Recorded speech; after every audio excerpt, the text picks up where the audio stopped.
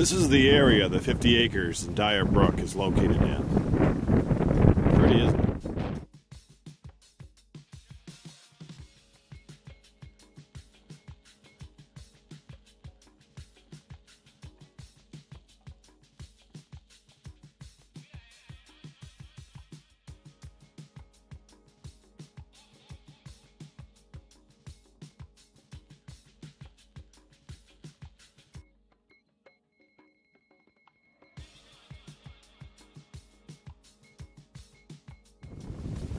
The house in Dyer Brook is toast.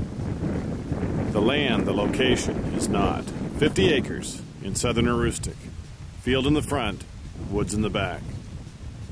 There's a garage that might be salvaged, but no guarantees on well, septic. Concentrate on the land. With a southern exposure. Behind the house, there probably was a barn. Most farms had them. It's been long gone. This is an abandoned farm that's been kept cleared on the front. There's woods on the back.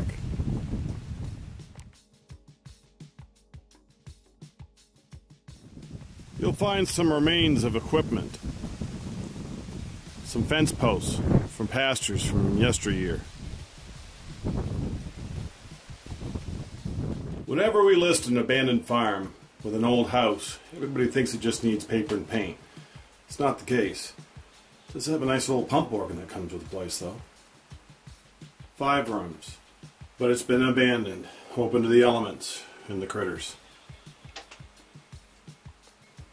With a high security bread and butter knife, the way we lock most of our doors to keep the wind out, the leaves, the four legged animals.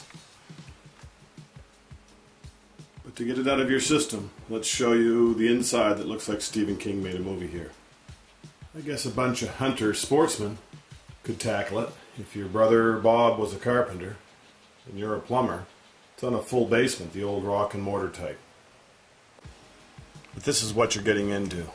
Yee, a mess. Concentrate on the 50 acres of ground.